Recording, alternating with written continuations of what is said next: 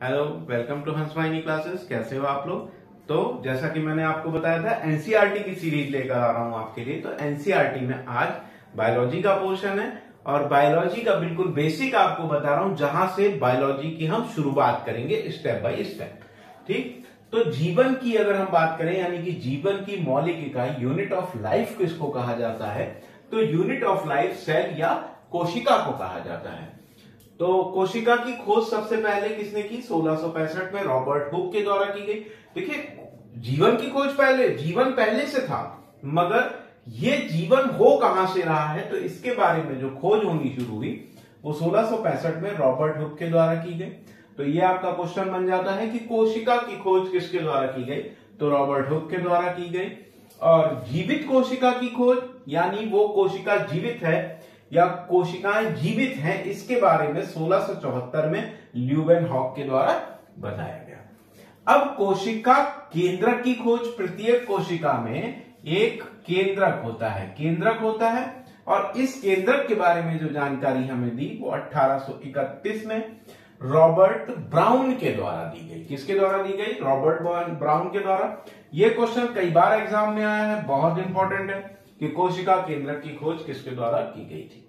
और उसके बाद कोशिका में एक तरल पदार्थ होता है, जिसको जीव द्रव्य कहा जाता है। तो इस जीव द्रव्य के बारे में जो बताया, वो जेई पुरोकंड ने बताया और 1839 में इसके बारे में उन्होंने जानकारी दी। तो जीव द्रव्य की खोज किसने की? कोशिका केंद्र की खोज किसने की? जीवित कोशिका की खोज किसने की? और कोशिका की खोज किसके द्वारा की गई? ये अपने आप में एक क्वेश्चन है। ठीक?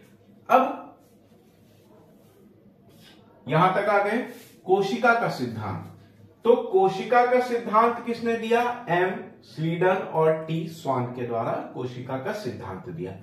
अब कोशिका सिद्धांत में इन लोगों ने क्या बताया? इन लोगों ने यह बता दिया कि पौधे और जंतु, पौधे भी और जंतु भी, ये सब काय के बने होते हैं? कोशिका के बने होते हैं। किसके बने होते हैं? कोशिका के। तो सभी कोशिकाएँ, यानी जो भी कोशिकाएँ बन रही हैं, यानी कि यहाँ से कोई एक एक कोशिका से दूसरी कोशिका का निर्माण हो रहा है, फिर यहाँ से एक कोशिका का और निर्माण हो रहा है तो यानी कि पूर्ववर्ती कोशिका क्या कर सभी कोशिकाएँ, यानी जो भी कोशिकाएँ बन रही हैं, वो पूर्ववर्ती कोशिकाओं के द्वारा ही बन रही हैं। यानी अपने पहले वाली कोशिका के द्वारा ही नई कोशिकाओं का निर्माण किया जा रहा है। अब ये चाहे जंतु में देख लीजिए, चाहे वनस्पति में देख लीजिए। ठीक है? तो यहाँ से सारे ही क्वेश्चन बहुत इंपॉर्टेंट हो जाते हैं। एक बार इसका स्क्रीनशॉट ले लीजिए और फिर इसके आगे मैं आपको बताता हूँ स्क्रीनशॉट ले लीजिए प्लीज़ इसका।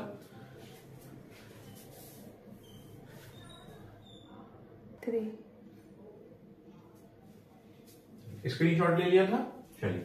तो अब देखिए विरचो के द्वारा यह बता दिया गया कि सभी कोशिकाएँ पूर्ववर्ती कोशिकाओं के द्वारा बनी होती हैं। यानी प्रत्येक जो कोशिका है, वो पिछली कोशिका से बनी है। अब कोशिका के तीन गुण होते हैं। ठीक कौन कौन से गुण होते हैं? कोशिका में ये तीन गुण होंगे। पहली चीज़, प्लेज्मा झिल्ली। प्लेज्मा झिल्ली किसी भी कोशिका की सबसे बाहरी परत होती है। सबसे बाहरी परत। तो कोशिका की सबसे बाहरी परत कौन सी हो गई? प्लाज्मा झिल्ली हो गई। क्वेश्चन हो गया आपका। अगर हम बात करें कि पादप कोशिका की तो पादप कोशिका की सबसे बाहरी परत जो होती है, वो कोशिका भित्ति कहलाती है, जो मुख्य रूप से सेल्यूलोज से बनी होती है। तो कोशिका झिल्ली सॉरी हाँ कोशिका के तीन गुण प्लाज्मा झिल्ली और प्लाज्मा झिल्ली जो है वो सबसे बाहरी परत है। पादप कोशिका की अगर बात करें तो कोशिका भित्ति करेंगे उसको और ये सेल्यूलोज की बनी होगी। ठीक? अब आ जाइए दूसरा गुण, यानी इसमें केंद्रक होगा और कोशिका द्रव्य होगा। और ये केंद्रक और कोशिका द्रव्य, ये दोनों ही मिलकर क्या कहलाते हैं? ये दोनों मिलकर जीव द्रव्य कहलाते हैं। क्या कहलाते हैं? जीव द्रव्य कहलाते हैं। कोशिका द्रव्य जीवन के लिए आवश्यक है, केंद्रक आने वाले समय के लिए, यानी अगली नई कोशिका के जन्म के लिए आवश्यक है। तो केंद्रक जो होता है, ये क्रोमोसोम और क्रोमोसोम बना होता है, डीएनए और प्रोटीन का बना होता है। तो केंद्रक किसका है? क्रोमोसोम का है। क्रोमोसोम किससे मिलकर बना है? डीएनए और प्रोटीन से मिलकर बना होता है। ठीक? ये वाला क्वेश्चन परीक्षा में आया है जीव द्रव्य में कौन कौन होते हैं भाई? तो ये वाला क्वेश्चन अभी किसी एग्ज़ाम में मुझे ध्यान नहीं आ रहा किस पेपर में पूछा गया था, मगर ये क्वेश्चन अभी मैंने देखा है कि जीव द्रव्य में कौन कौन है। तो जीव द्रव्य में भाई केंद्रक है और कोशिका द्रव्य है। तो इन क्वेश्चंस को भी आप लोग एक बार इसका स्क्रीनशॉट ले लीजिए, ठीक? और यहाँ कंफ्यूज मत कीजिएगा, अगर आपसे पादप झिल्ली पूछ रहा है तो आप पादप झिल्ली यानी कि पादप कोशिका के बारे में अगर आपसे पूछ रहा है तो आप पादप कोशिका कोशिका भित्ति ही लगा कर आइएगा। ठीक है? स्क्रीनशॉट ले लीजिए, जल्दी से इसका।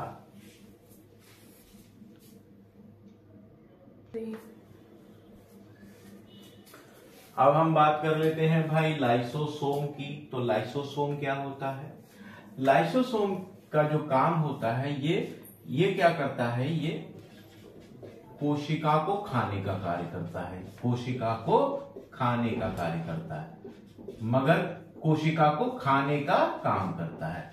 मगर ये कैसी कोशिकाओं को खाने का काम करता है? जो कोशिकाएँ मृत हो जाती हैं। ठीक? तो मृत कोशिकाओं को खाने का काम करता है? लाइसोसोम करता है। तो इसको क्या कहा जाता है? इसको कोशिका की आत्महत्या की थैली कहा जाता है। कोशिका की आत्महत्या की थैली कहा जाता है। आत्महत्या की थैली। ठीक? लाइसोसोम कोशिका को खाने का काम करता है। ये कोशिका में ही होता है। कोशिका फटती है, लाइसोसोम उसको खाने का काम करता है, यानी मृत कोशिकाओं को खाने का काम करता है, जिस कारण इसको कोशिका की आत्महत्या की थैली भी कहा जाता है। अब बात करते हैं माइट्रोकॉन्डिया तो माइट्रोकॉन्डिया क्या होता है? ये कोशिका का बिजली घर कहलाता है। क्या कहलाता है? कोशिका का पावर हाउस कहलाता है। ठीक? क्या करता है ये? ये कोशिकाओं को निर्माण में सहायक होता है। तो माइट्रोकॉन्डिया क्या करता है? ये कोशिकाओं का पावर हाउस है बिजली पहुँचा रहा है। और लाइसोसोम क्या कर रहा है? जितनी भी मृत कोशिकाएँ हैं, उनको खाने का काम करता है। ठीक? यहाँ तक कोई दिक्कत नहीं है आपको? चलिए, ये क्वेश्चन कई बार परीक्षा में पूछा गया है। कोशिका की आत्महत्या की थैली किसको कहा जाता है? तो लाइसोसोम को कहा जाता है। कोशिका का पावर हाउस किसको कहा जाता है? माइटोकॉन्ड्रिया को कहा जाता है। ये दोनों क्वेश्चन बहुत इंपॉर्टेंट हैं। स्क्रीनशॉट लेते रहिए फटाफट।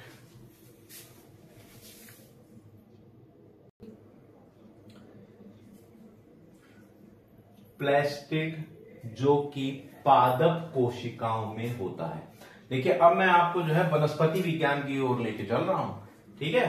तो अब पादप कोशिकाओं की अगर हम बात करें तो पादप कोशिकाओं में क्या हो जाता है भाई? प्लेस्टिड मिलता है, ठीक? प्लेस्टिड दो प्रकार का होता है। प्लेस्टिड कितने प्रकार का होता है? दो प्रकार का होता है। एक को कहा जाता है क्रोमोप्लास्ट, जो क्या करता है? जो क्लोरोफिल वर्णक होता है, यानी पौधों में जो क्लोरोफिल पाया जाता है, उसका क्या करता है? कलर होता है ये। ठीक? ल्यूकोप्लास्ट, इसके द्वारा स्टार्च, तेल और प्रोटीन बनता है। ठीक? तो प्लेस्टिड कहाँ पाया जाता है भाई? तो पादप कोशिकाओं में होता है, क्रोमोप्लास्ट। अब देखिए, इसमें क्लोरोफिल, यानी कि ये कैसा हो गया? ये कैसा हो गया? ये रंगीन हो गया। यानी इसमें कलर मिल गया आपको। ल्यूकोप्लास्ट की बात करें तो ये स्टार्च है, तेल है प्रोटीन है। तो ये कैसा हो जाएगा? ये रंगहीन हो जाएगा। रंगहीन हो जाएगा। ठीक? तो क्रोमोप्लास्ट क्या काम करता है? या क्लोरोफिल किसके कारण है? या देखिए, सीधा सा क्वेश्चन आ गया भाई, पौधों का हरा रंग किसके कारण होता है? क्लोरोफिल के कारण होता है। मगर ये क्लोरोफिल के लिए जिम्मेदार कौन है? तो क्रोमोप्लास्ट इसके लिए जिम्मेदार है। ठीक? पादप कोशिकाओं में स्टार्च का निर्माण, तेल का निर्माण और प्रोटीन के निर्माण में कौन सहायता करता है? तो वो ल्यूकोप्लास्ट सहायता करता है। तो ये आपका पूरा पादप कोशिकाओं से लेकर चला था और खत्म मैं पादप कोशिकाओं पे कर रहा हूँ। इसके बाद ऊतक पढ़ाऊँगा और ऊतक भी कोशिश करूँगा कि पादप ऊतकों पे ले जाके मैं अपनी बात को खत्म करूँ। क्योंकि जीव विज्ञान जब हम पढ़ेंगे तो वहाँ अलग चीज़ें आएँगी सामने, ठीक है? मगर बेसिक दोनों का, यानी वनस्पति विज्ञान का और जीव विज्ञान का सेम ही चलने वाला है।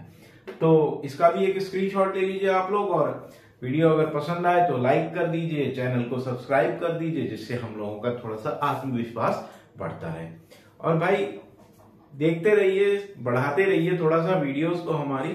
ठीक है, आजकल थोड़ा व्यू वगैरह कम दिख रहे हैं। ठीक है थैंक यू वेरी मच